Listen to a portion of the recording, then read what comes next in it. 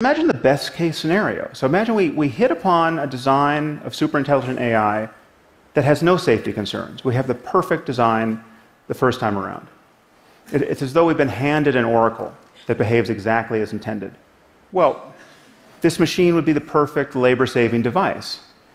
It can design the machine, that can build the machine, that can do any physical work, powered by sunlight, more or less for the cost of raw materials. Okay, so, so we're talking about the end of human drudgery. We're also talking about the end of most intellectual work.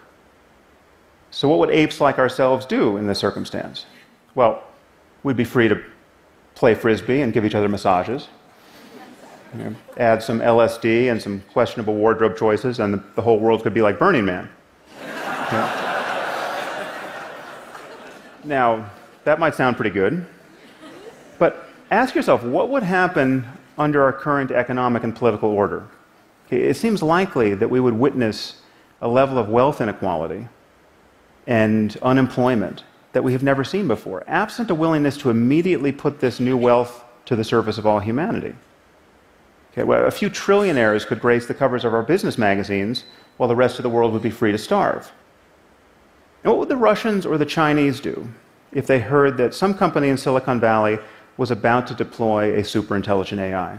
This machine would be capable of waging war, right, whether terrestrial or cyber, with unprecedented power. Now, this is a winner take all scenario. To, to, be six months ahead of the competition here is to be 500,000 years ahead at a minimum.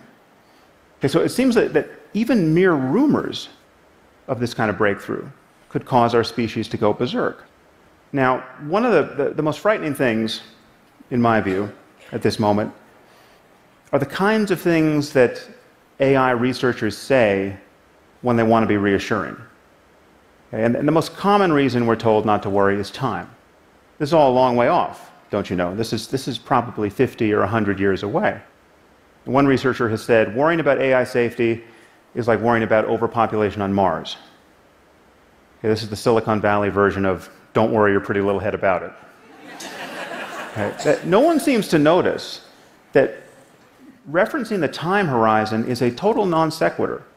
If intelligence is just a matter of information processing, and we continue to improve our machines, we will produce some form of superintelligence. And we have no idea how long it will take us to create the conditions to do that safely.